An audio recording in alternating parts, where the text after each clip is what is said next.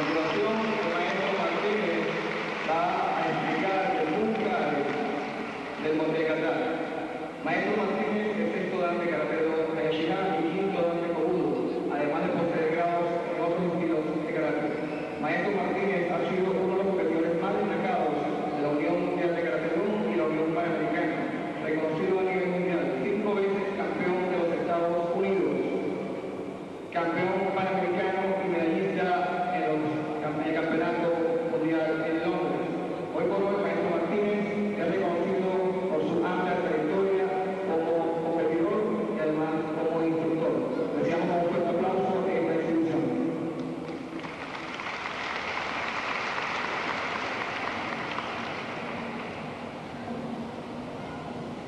Thank